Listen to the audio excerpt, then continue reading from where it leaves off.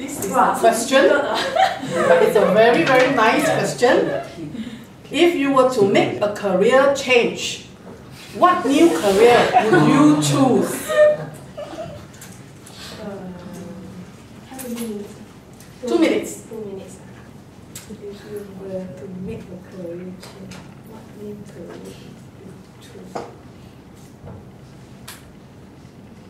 Okay, is it have to be really a career? I mean, if I got money, then maybe I want to be a housewife. lah. Woman This is my new career. lah. Woman of leisure. Because my kids still young, uh, I think it would be fair for me to have more time and then uh, to spend with my children. Uh.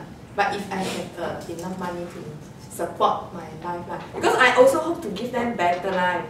There is no point that uh, I stop working, but then I just give them uh, the I mean whatever basic. Uh, uh, uh, life lah. So I hope to give them better life. So I work so that I earn money and then buy them more things, give them, uh, if I try to provide them a better life lah.